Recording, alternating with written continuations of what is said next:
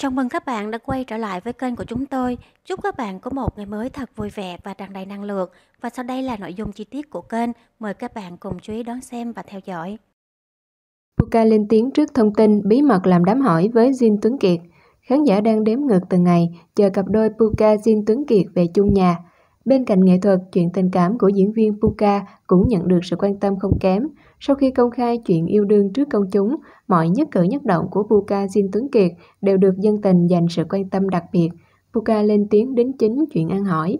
Sau khi công khai chuyện yêu đương trước công chúng, mọi nhất cử nhất động của Puka Jin Tuấn Kiệt đều được dân tình dành sự quan tâm đặc biệt. Mới đây, trên Instagram, Puka đã chia sẻ lại hình ảnh với thắc mắc của một khán giả. Hôm nay là lễ ăn hỏi của hai anh chị đúng không ạ? À? Vì Puka xin Tuấn Kiệt lên đồ đi sự kiện với outfit giống như cô dâu chú rể, nên không ít khán giả đã hiểu lầm cả hai bí mật tổ chức ăn hỏi. Trước sự việc này, Puka đã nhanh chóng lên tiếng đính chính. Không nha em, chỉ là sự kiện chung mà ngại quá nè. Xin Tuấn Kiệt bảnh bao trong bộ vest trắng, còn Puka nền nã trong trang phục áo dài truyền thống. Thoáng qua ai cũng ngỡ cả hai là nhân vật chính trong ngày trọng đại. Puka xin Tuấn Kiệt lên đồ đi sự kiện với outfit giống như cô dâu chú rể, nên không ít khán giả đã hiểu lầm cả hai bí mật tổ chức ăn hỏi. Xin Tuấn Kiệt bảnh bao trong bộ vest trắng, Puka nền nã trong trang phục áo dài truyền thống. Ngắm bộ ảnh cưới ngọt ngào của Van Hugo, ngày lên xe hoa đang đến gần. Khán giả đang nóng lòng chờ ngày Van Hugo lên xe hoa. Mới đây trên trang cá nhân, Van Hugo hé lộ bức hình cưới đầy lãng mạn. Cô viết, biển ơi, đợi chúng tới nhé. Ảnh cưới của Van Hugo được chụp giữa khung cảnh biển cực tình. Cô dâu đẹp như công chúa khi khoác lên mình bộ váy cưới màu trắng tinh khôi. Còn chú rể bảnh bao trong bộ vest đen lịch lãm.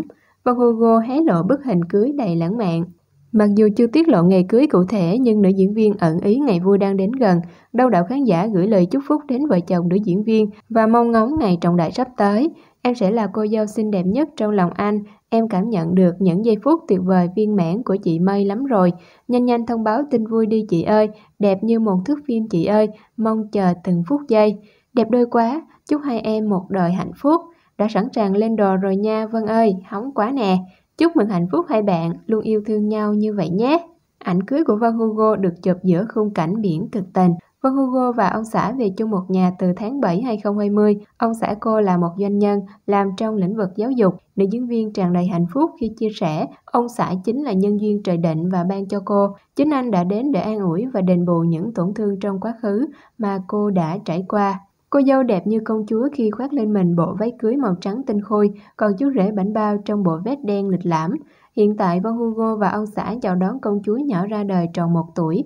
Con gái Văn Hugo có biệt danh là Vừng. Cô đặt tên con là Vừng để nhắc nhở bản thân rằng cánh cửa yêu thương sẽ mở ra khi gieo những hạt giống thiện lành. Sau cuộc hôn nhân không trọn vẹn, giờ đây Vân Hugo đã có gia đình nhỏ đầy hạnh phúc. Bản tin của chúng tôi đến đây đã kết thúc. Cảm ơn các bạn đã quan tâm và theo dõi. Hẹn gặp lại các bạn ở những bản tin tiếp theo.